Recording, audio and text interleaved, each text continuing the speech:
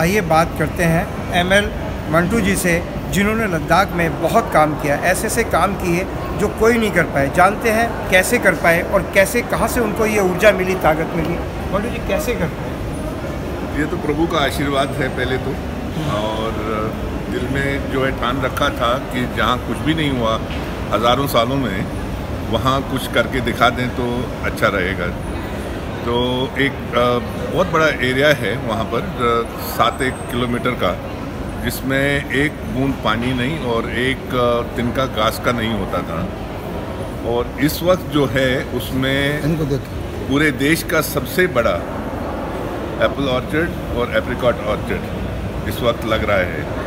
हज़ारों के हज़ारों पेड़ लग रहे हैं चारों तरफ़ और पानी ही पानी एक एक पौधे को गारंटेड पानी हमेशा के लिए तैयार हो गया। ये चमत्कार ही है ऊपर वाले का आशीर्वाद से ही हुआ है बाकी तो आदमियों के ज़्यादा बस की बात नहीं होती है। हमें पता चला है कि अभी वहाँ पर आपको जो भी काम दिया जाता है उसको आप पूरी मेहनत और ईमानदारी के साथ करते हो और उसमें पैसे का भी बहुत ज़्यादा इन्वॉल्वमेंट नहीं होता। ये कैसे संभव है कि बिना पैसे के बिना पैसे के आप ये सब काम कर पाते हो? नहीं पैसा तो हर एक काम में लगता है। ऐसी बात नहीं है कि पैसा नहीं लगता है। पैसा लगता है, लेकिन जहाँ बाकी लोग सौ रुपये लगाते हैं, हम दस रुपये से काम चलाते हैं। इतना जो है, जितना काम किया है पिछले 40-50 साल में, उसका हम पूरा उपयोग इन प्रोजेक्ट्स में कर रहे हैं। सौ रुपये की चीज़ हमें मार्केट से 25-30 रुपये में भी मिल जाती है। इस तरह से हम खर्चा बचा लेते हैं। तो और जितने भी रिसोर्सेज होते हैं, वो रिसोर्सफुलनेस से ज़्यादा बनाते हैं बजाय रिसोर्सेज के। क्यों इसको आप हिंदी में जुगाड़ भी कर सकते हैं लेकिन इंटरनेशनल लेवल का जिसमें क्वालिटी में कोई कंप्रोमाइज़ नहीं होगा। तो हमारा एक एक प्रोजेक्ट जो है इस वक्त इंटरनेशनल लेवल पे किसी भी प्रोजेक्ट को टक्कर दे सकता है।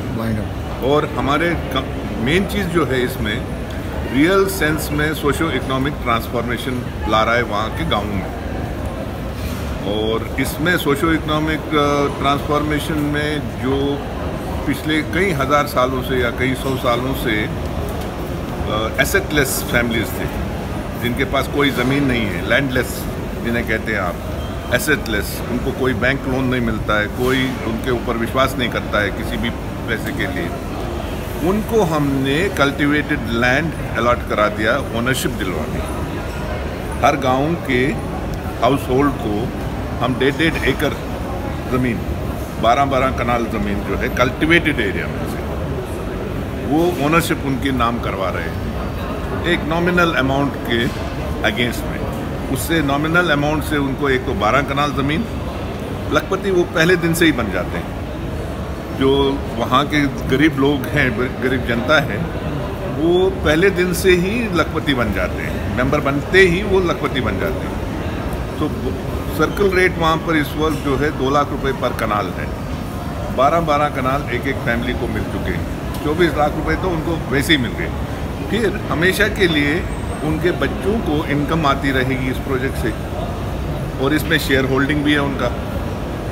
तो आप समझ लो उनकी जो है एम्प्लॉयमेंट गारंटेड है, उनके बच्चों का फ्यूचर सिक्योर हो गया है।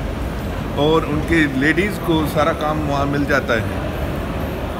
तो इससे बढ़िया डेवलपमेंटल मॉडल मैंने आज तक नहीं देखा, खुद भी नहीं देखा है। और ये आप पूरे देश में सारे लोग, सारे स्टेट्स में इसकी रिक्वायरमेंट आ रही है कि भाई आप ऐसे ही मॉडल को हमारे यहाँ रेप्लिकेट कर दीजिए। तो हम नेक्स्ट जो है, लद्दाख में एक और प्रोजेक्ट कर रहे हैं। इससे बड़ा वो भी ढाई हज़ार एकड़ से ज़्यादा का है। ये ढाई हज़ार एकड़ का है। दूसरा बास्को में होगा, वो ढाई हज़ार से ज़्यादा का है। तीसरा जो है राजस्थान में जोधपुर के पास है। वो भी ढाई हज़ार एकड़ का है। फिर कर्नाटक में तीन प्रोजेक्ट्स हम लॉन्च करने जा रहे हैं। सो इस तरह से करके दिसंबर 2019 तक हमारा गोल है कि हम 10 प्रोजेक्ट कम से कम छः स्टेट्स में शुरू कर दें। और अगले साल फिर हम बाकी 25 एक स्टेट्स में इसको ले जाना चाहते हैं।